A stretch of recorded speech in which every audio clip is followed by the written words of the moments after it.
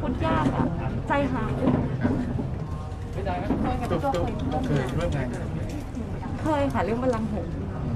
เป็นไงฮะกับการทำงานกับพี่ตัวตอนก่อนก็เป็นโชคดีที่สุดของหนูอะก็ความน่ารักของพี่ตัวของสามัญการละครคือเหมือนเป็นแบบบ้านหลังที่สองอะวันนั้นพี่ตัวสอนอะไรเราบ้างคะในเรื่องการแสดงนะถ่ายทอดอะไรหรือเปล่าทุกอย่างเลยค่ะเพราะ เองก็เขียนบท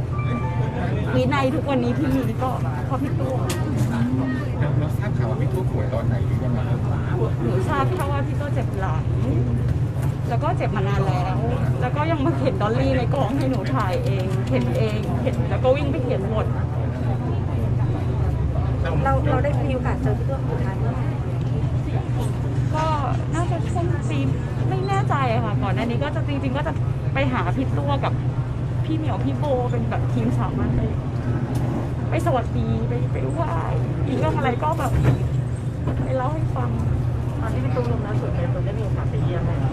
ก็จริงๆยังไม่มีโอกาสไปเยี่ยมเพราะตอนไปเจอก็รู้ว่าพ่อเจ็บพี่ตัวเจ็บหลังมาอยู่แล้วอะไรเงี้ยก็มีเจอกันก็เจอพี่เหมียวพี่โบอะไรเราเรารักพี่ตัวเหมือนพ่อเลย ก็ทุกทุกอย่างวิชาฐานะนักแสดงอะไรเงี้ยที่มีวันนี้ก็พี่ตัวสอน ใจสลายไหมในตัวที่แบบพ่อที่เราเคารพในเรื่องการแสดงแล้วก็แบบกลับในการทำงานที่สุดอยากอยากบอกอะไรกับพ่อคนนี้ยังไงบ้างนะคะ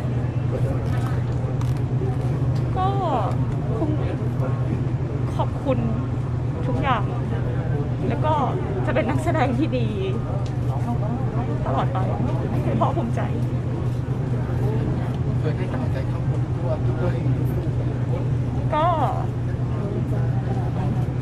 คือหนูไม่ได้ไม่ได้สนิทหรือรู้จักกับทางครอบครัวเป็นการส่วนตัวขนาดนั้น แต่ก็มีพิมพ์ให้กำลังใจลูกสาวแล้วก็